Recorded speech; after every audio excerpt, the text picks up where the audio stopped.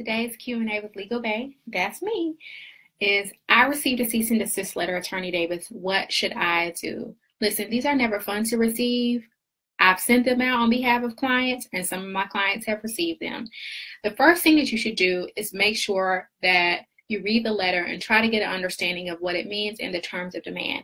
Most of the time, a cease and desist letter at the end will request a date for you to respond if it's you know a very unreasonable time a day or two days really most likely per, an attorney didn't draft it maybe the person who owns the trademark drafted it. Um, and you also want to make sure you understand what that deadline is just so you can be compliant with the terms. The next thing I would suggest is to set up a consultation with an attorney. A lot of times it's not as expensive as people think, especially if that attorney can give you peace of mind as to the legitimacy of the cease and desist and whether or not you should comply. I've had to walk clients through this process and, you know, it can really be a doozy, but having the right support on your side can really make all the difference in the world.